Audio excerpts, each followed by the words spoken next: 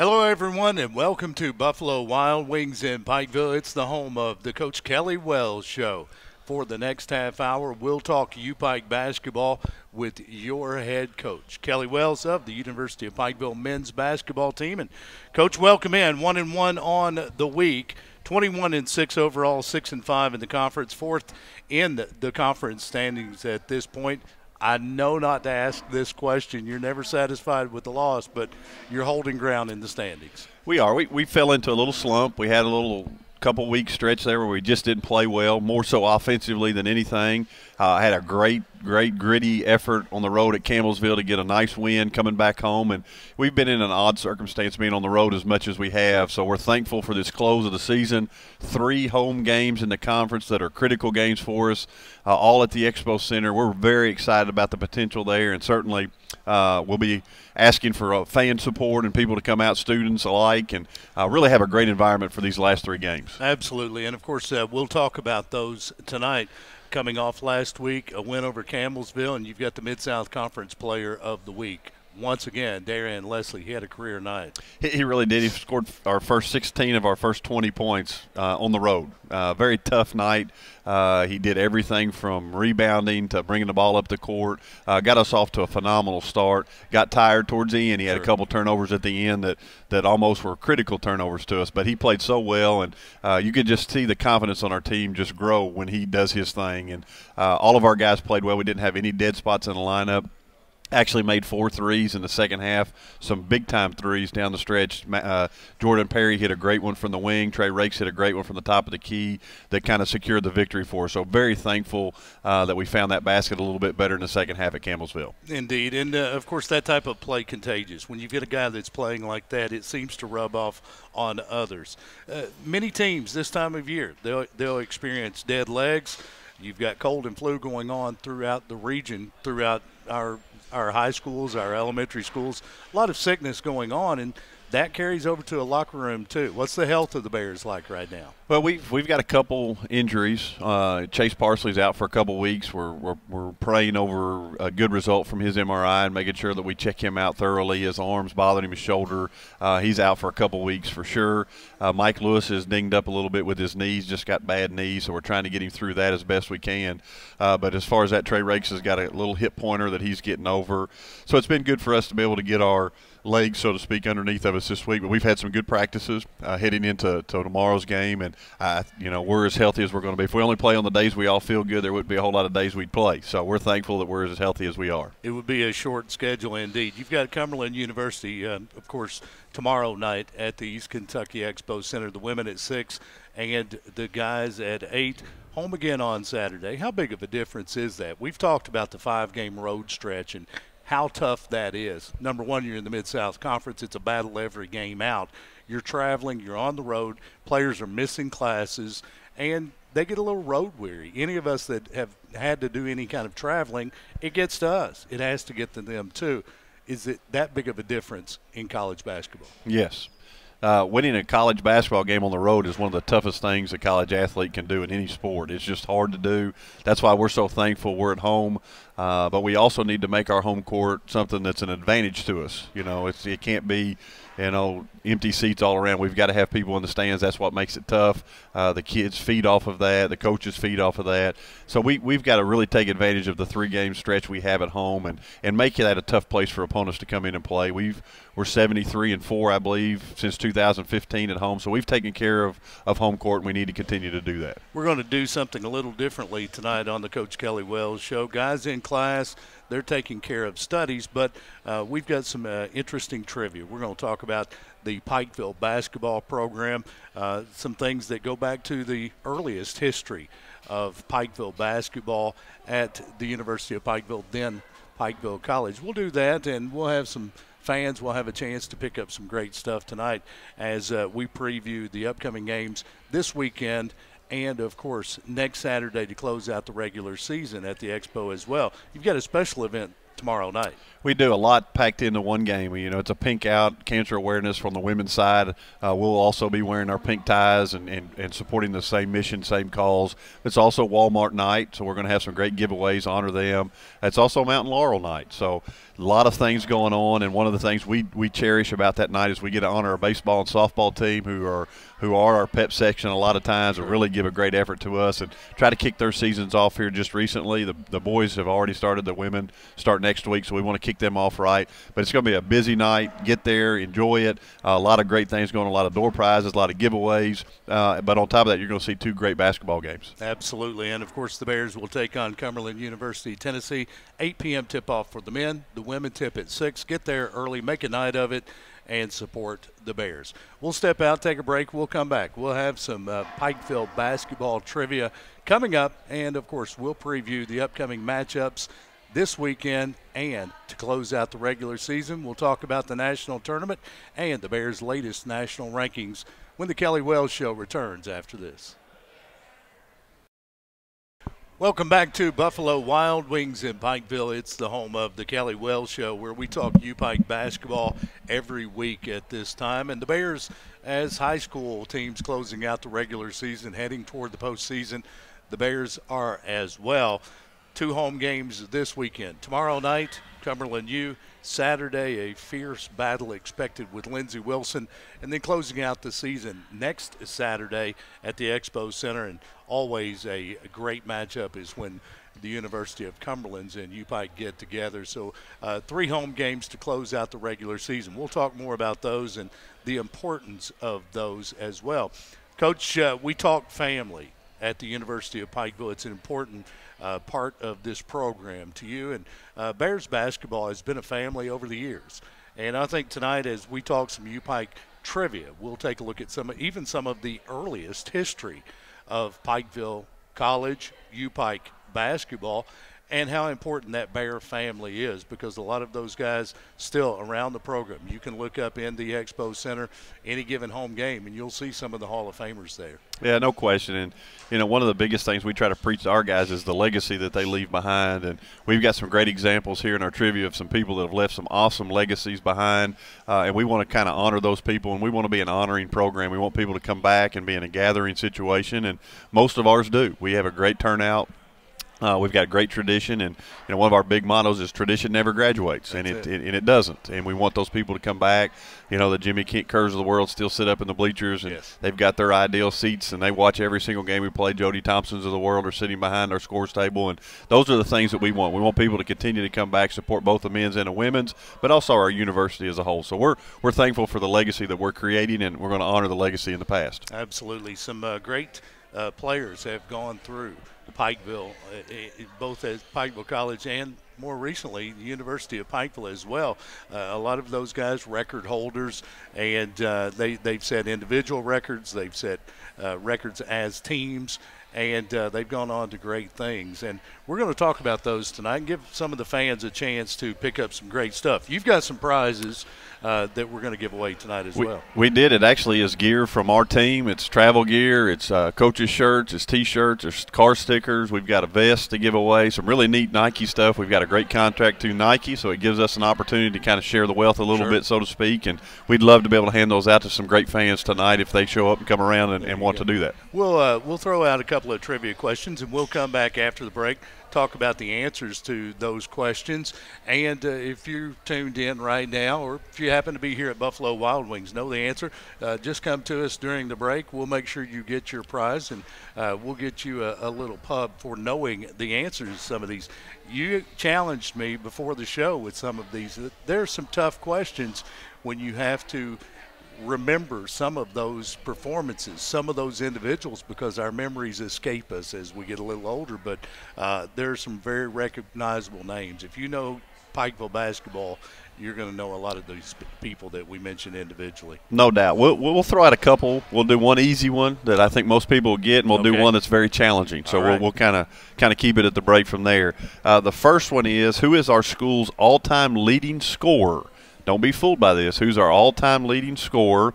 Uh, and the other one is naming three of our six 2,000 point scores. Wow. We have six all time. Those date from back to the, the early 60s all Yes. the way to recent times. So we have six 2,000 point scores.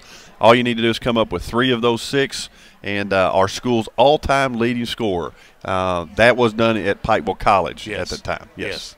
And uh, it, it, as we talked about those six, going through the list of those names, it, it are they're, names that are associated with Pikeville basketball.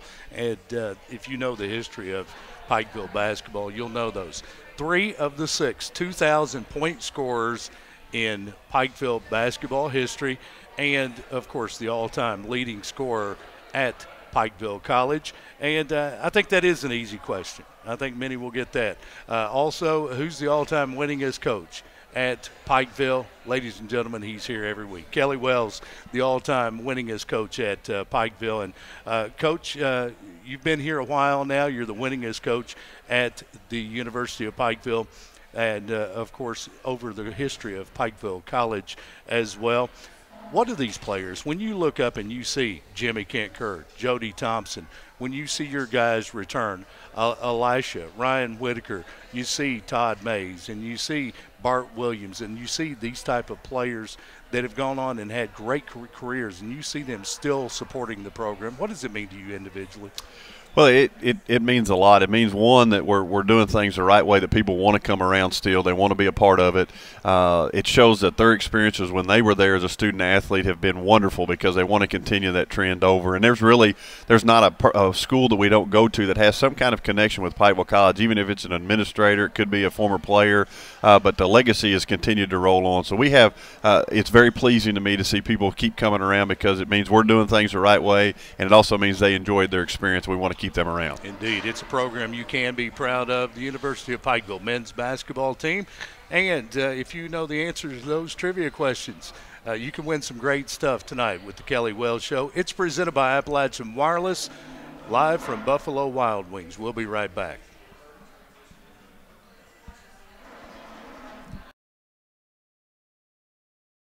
Welcome back to Buffalo Wild Wings at Pikeville. It's the home of the Kelly Wells Show, where we talk U Pike men's basketball every week at this time. And the Bears closing out the regular season tomorrow night.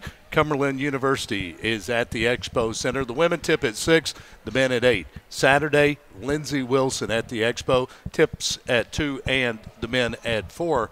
And then next Saturday, the Bears will welcome the University of Cumberland's to close out the regular season, then on to the Mid South Conference tournament in Frankfort. Uh, Coach, we talked about the five game road trip, how tough it was. You've got a three game home stretch. You sit fourth in the conference. You've got matchups coming up against one team that's ahead of you in the conference standings, one team that directly trails you. How important is this three game stretch? Well, eh, we're going to take them one by one. We call them one game championships. Each one of them are critical to our success. You know, we don't want to be uh, heading into the, the conference tournament on a losing note. That's certainly not the plan. Uh, to have the advantage of being at home, we need to capitalize on that. We managed to get through that long road stretch uh, to get to this part of it. So we should be enjoying this, should be ready to roll. And, you know, it starts with Cumberland, Tennessee on Thursday. We can't look ahead, we can't look behind. We've got to look at that game as the most critical game of the season. Uh, then once we take care of that business, then we'll look towards Saturday. So they are very important to us. Uh, Lindsey Wilson's a game behind us. They go to Cumberland's. They come to us. They go to Georgetown. So they've got a tough stretch Sure. to go as well. So we need to make sure we take care of our home court, uh, and we never really worry about what anybody else is going to do. You know, opportunities are going to multiply as we take we seize those opportunities. So each night that we win, that puts us in a better position.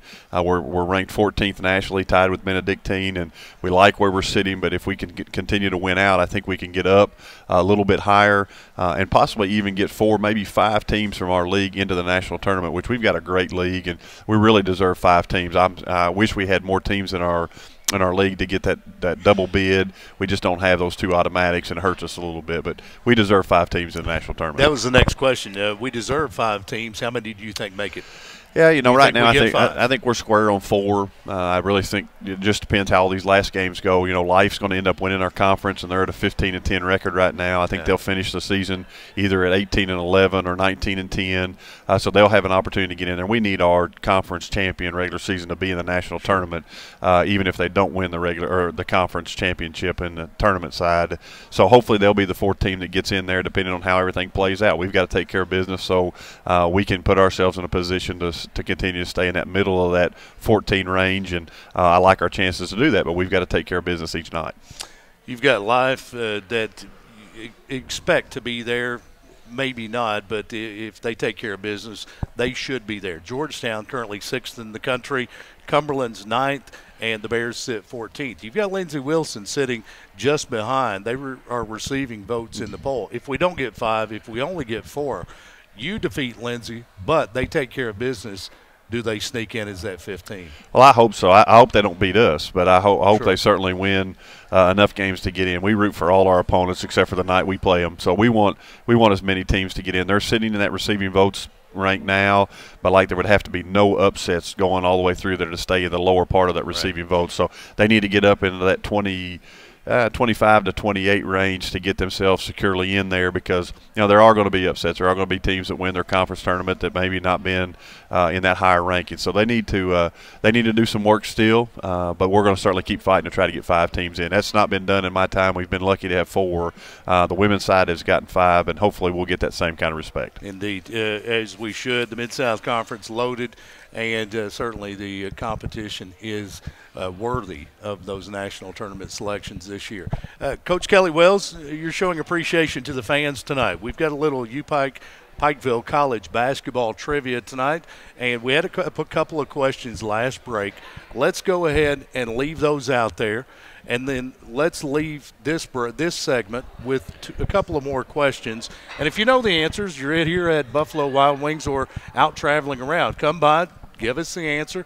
And uh, coach has got some great prizes. But let's throw a couple more questions. Uh, we're, we're going to sneak one from the from the far past and one from the near future here. Okay. Uh, who is Pikeville's very first All American? And that was in 1955. It's a challenge. 1955. Question. But I think the name's very popular that people will will have a chance to get. The other one is is kind of recent. Named the only NAIA National Player of the Year in Pikeville history. Now that's the National Player of the Year, not Tournament Player of the no. Year. We have one of those too. Also but, recent. Yep, this is the National Player of the Year for the all of the NAIA of all the teams. Yeah. Two great questions, two great names for Indeed. you. Indeed. It's the Kelly Wells Show presented by Appalachian Wireless. We are live at Buffalo Wild Wings. We'll step out, take a break. If you know the trivia answers, come by and say, hey, uh, let the coach know your guess, and you can pick up some great stuff. Appreciating the fans tonight from Buffalo Wild Wings. When we come back, we'll have a preview of Cumberland U tomorrow night at the Expo, and uh, we'll wrap up this edition of the Kelly Wells Show when we come back right after this. Welcome back to Buffalo Wild Wings in Pikeville. It's home of the Kelly Wells Show, where we talk U Pike basketball at this time every week. It's presented by Appalachian Wireless, and Coach Kelly Wells in the house tonight as we preview the Bears' next three home games tomorrow night. Most uh, most recently, uh, the Bears will take on Cumberland University out of Tennessee. And uh, Coach, quick scouting report. Last time out, uh, you beat them soundly. How do you keep your team focused? Well, we, we know what's at stake, you know, and it, and they're the typical team that uh, is very, very talented. They are good at every spot. They're very fast, very athletic, and it's important for us to have a, a premium on our effort, our 50-50 balls. We've got to get all the hustle plays, uh, and, and, it's going to take a great effort. You know, just because we won a third place earlier in the season doesn't guarantee us anything. Uh, anybody down the stretch has opportunities to win, and they're playing good basketball. They're the only team that went to life and won, uh, so they're very capable of winning. Sure. So we've got to come out and play uh, extremely hard. Uh, their guard play is their key. They try to get in the paint. We've got to do a great job of securing the paint, contesting, challenging, and rebounding. And man, I tell you, it'd be nice to see that ball go through the hole quite a bit. Yeah, indeed. Uh, it's been a struggle at times this uh, year, as we've talked about. Offensively, not necessarily bad shots, just ball just won't go in the hole uh, the way that we're used to seeing it go in the hole. Are you pleased with the way your team's progressed during the course of this season? Because you've gone through those times when the ball wouldn't go in, when you've had offensive slumps, nights when the defense had letdowns at moments. Are you pleased with where this team is heading toward that final week? Well, our, our goal is to play our very best at the end of the season. Right. So we're, we're sneaking up on that. We we the defense and the rebounding. I really don't have a lot of complaints. They've done a tremendous job. You know, our turnovers have continually gotten better. Yeah. Uh, we got to continue to grow in that area. But offensively, we need to really start getting that on the high side. You know, we were we're, we're statistically doing great nationally, rebounding. Sure. We're doing statistically great defensively, but this team offensively just is challenged a little bit, and it would be great for us to knock some shots down. We're not a bad shooting team. Uh, we've shown it, and actually this week in practice has been one of the better weeks we've had seeing that ball go through the basket. So I'm hoping that we're going to break that door down uh, starting tomorrow, and we'll finish strong in these last three home games. Nothing better than shooting your home building, so we're certainly thrilled about that. And then just carry that right over to tournament time and just continue to play our best. Absolutely, and uh, uh, maybe one of those guys that could uh, talk to the Bears about how to get the ball in the hole, the all-time leading scorer at the University of Pikeville. Of course, that was one of our trivia questions from early, and let's go ahead and let folks know the all-time leading scorer in Pikeville history is uh, Mr. Bart Williams, and that total is 2,736. 27 36. And the, a huge number. And the second place person, which I can't tell you because it would fill in another gap, yeah. Was our second leading scorer, very close to him, and he did that in two seasons of yes. competition. Yes. It's pretty incredible. And, uh, of course, we had another question out there the very first All American in Pikeville history, all the way back in the mid 50s. And it's a name that uh, is very recognizable, uh, but a lot of people they they leave him out in the history. And want to jump a little further ahead. But you remember, the first All American. That's that's Mr. Grady Wallace, yeah. and uh, we've had several All Americans, but none more important than Grady and his crew that came through and gave us opportunities to do what we're doing. So we wanted to make sure we got him uh, in the trivia, but we're proud of Grady. In 1955, our very first All American. Went on to be an All American at South Carolina and uh, the only bear to uh, travel that highway. But uh, Grady Wallace, who passed away in 2006, and uh, Grady Wallace, the first All American in Pikeville history. And uh, another one of our trivia questions we went to the break with. Name three of the six 2,000 point scorers. So yes. we've, we've told you one. Yes. Bart Williams, 2,736. Right. That person in two years was Todd May. 2,225. Two seasons of competition. Crazy numbers. Brian Johnson, we had mentioned a little bit earlier, is our third at 2,188. Donnis Butcher at 2,080. Jody Thompson, which we're praying for you, Jody, 2,061 points. Yes. And John Lee Butcher was the sixth with 2,010. Incredible, incredible numbers from those six individuals and uh, just a part of the tremendous history of Pikeville College and University of Pikeville Bears basketball. Coach, we're out of time for tonight. We want to invite people to join us at the expo tomorrow night. Cumberland U in the house, 6 o'clock for the women. Your tip off at 8. Yes, please be there. We need your support. We've got some great events happening. It'll be worth your while. Bring your family, bring your friends. Love to see you at the game. Best of luck. Go Bears. It's the Kelly Wells Show, presented by Appalachian Wireless. We've been live from Buffalo Wild Wings. Thanks for tuning in.